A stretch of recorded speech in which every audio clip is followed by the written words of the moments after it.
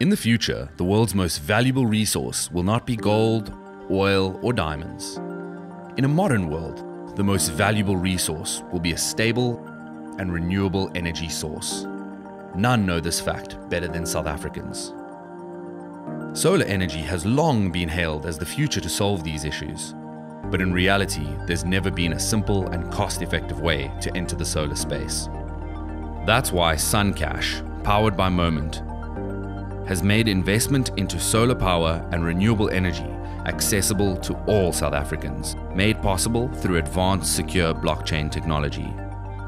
You can now purchase solar cells from as little as 150 Rand through the SunCash website and start selling solar energy to institutions such as schools, businesses, hospitals, or factories through automated transactions.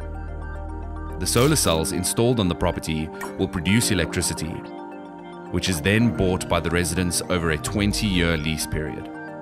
Ownership of these cells means that token holders will be paid out the earnings of their allocated cells through secured cryptocurrency transactions every quarter. SunCash, turning sunlight into savings.